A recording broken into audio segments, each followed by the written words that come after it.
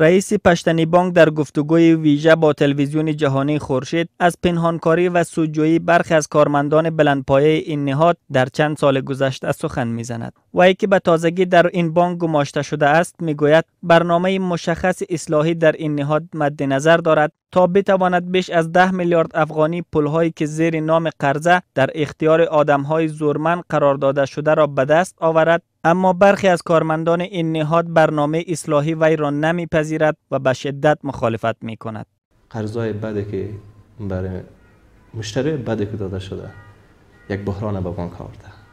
وی می افزاید فساد در این نهاد بیداد می کند و همین اکنون بیش از سی نفر اضافه بست دارد که تنخواه مناسب به دست می آورند. در ضمن این بانک توانایی رقابت با هیچ یکی از بانک های کشور را ندارد به دلیل اینکه کارهایشان با دست پیش می رود و برخی از کارمندان مهم آن با کامپیوتر کار نمی توانند. شما چه فکر می‌کنید؟ یک نفر 13 نفر در یک نمایندگی در سرای شاهزاده